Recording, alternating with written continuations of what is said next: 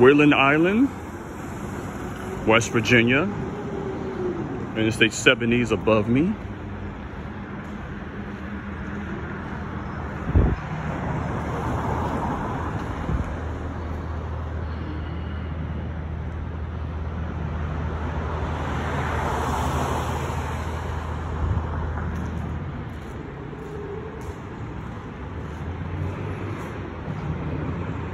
Next to the Ohio River, along with Bridgeport, Ohio. Also, Route 40.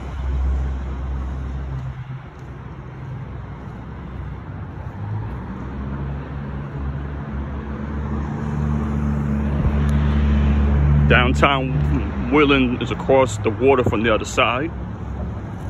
It's also in West Virginia.